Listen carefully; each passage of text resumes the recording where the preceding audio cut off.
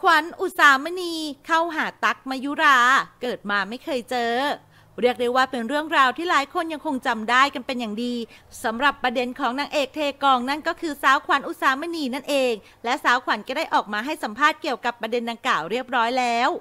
ล่าสุดวันที่ 12 มีนาคมที่บริษัทอมรินทร์ เทเลวิชั่นจำกัดซอยอรุณอมรินทร์ 39 ตั๊ก มยุรา เศวตศิลา ให้สัมภาษณ์หลังมาร่วมงานบวงสรวงละคร เผยถึงประเด็นนางเอกเทกองที่ตนเองอยู่ในเหตุการณ์ด้วย ก่อนหน้านี้ที่มีข่าวนางเอกเทกอง เราเป็นหนึ่งในคนที่อยู่ในเหตุการณ์ด้วย พี่อยากจะบอกว่าพี่พูดอะไรมากไม่ได้ วันนั้นพี่อยู่ตรงนั้นจริง ๆ ก็ไม่เป็นไรให้มาก็มา เราก็ถ่ายไป แล้วผู้กำกับบอกว่านางเอกกลับไปแล้ว ต้องขอโทษพี่ วันนี้ต้องยกกองกลับ พี่ก็เหลอให้มาก็มาให้กลับก็กลับ วันนั้นมีคนมาสัมภาษณ์พี่ว่าพี่อยากรู้ไหมตอนนั้นอยากรู้ แต่ตอนนี้ไม่อยากรู้แล้ว ว่ามันเป็นเรื่องอะไร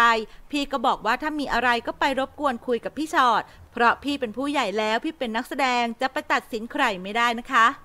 ยอมรับว่าเราก็งงตอนแรกก็งง ต้องงงอยู่แล้วนะคะ เพราะเราต้องไปไกลขนาดนั้น แล้วเราก็ยังไม่เคยเจอ ส่วนมากเราได้ทำงานกันแต่ตอนนี้น้องให้สัมภาษณ์ไปหลายที่แล้ว ก็ไม่งงแล้วค่ะ น้องมาขอโทษสองวันก่อนเจอกันโดยบังเอิญ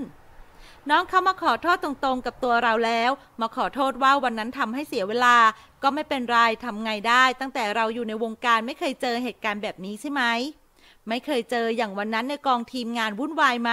ไม่นะ แต่ว่ากองก็ใหญ่คือกองละครมีทุกอย่างปกติ ละครถ่าย teaser พี่ถ่ายไปแล้ว พี่ก็จำได้ว่าพี่พูดอะไรบ้างก็ถ่ายไปเสร็จแล้ว แต่ก็ต้องจบไปนะคะ ตอนนั้นงง พี่มีความรู้สึกว่าคือไม่ได้มองโลกสวยไม่ใช่นะ ทุกคนมีเหตุผลของตัวเอง แต่เหตุผลคืออะไรบางทีเราอยากไปตัดสินว่าเธอเป็นแบบนั้น เป็นแบบนี้ไม่ได้ เพราะบางทีพูดไปอาจจะมีการต่อยอด หลังจากวันนั้นมีคนมาถามพี่เยอะ พี่ก็เลือกว่าพี่ไม่อยากรู้ ให้ทีมงานและกองละครตัดสินเองละกัน พี่ก็กลับบ้าน สมมติว่าไม่มีวันนี้เกิดขึ้นก็จบแล้ว มันก็แฮปปี้แล้วทุกอย่างอยู่ที่ความคิดวันนั้นเราหน้าผมพร้อมแล้วเสร็จเรียบร้อย แบบนี้เลยไปถ่ายเรียบร้อยแล้วก็จะต้องกลับมาอีกครั้ง แต่จะกลับมาเมื่อไหร่ตอนนี้ไม่รู้ มันจะกระทบคิวในระยะยาวเราไหมพี่ตั๊กไม่คิดถอนตัวไม่ถอนนะคะ เพราะพี่เชื่อมั่นทางผู้จัดทางพี่ชอด อย่างที่บอกพี่ก็รักที่นี่ทำงานร่วมกันได้ดี พี่ชอดก็เป็นคนน่ารัก เพราะงั้นถ้าจะเปลี่ยนเรื่องเปลี่ยนทีมพี่โอเคไม่มีปัญหา เราก็รับ เพราะเราเป็นคนทำงาน นี่คืออาชีพของเราเราจะไปเยอะแยะ วุ่นเวอร์ คงไม่ใช่ ยังไงก็ยอมรับโดยดุษฎี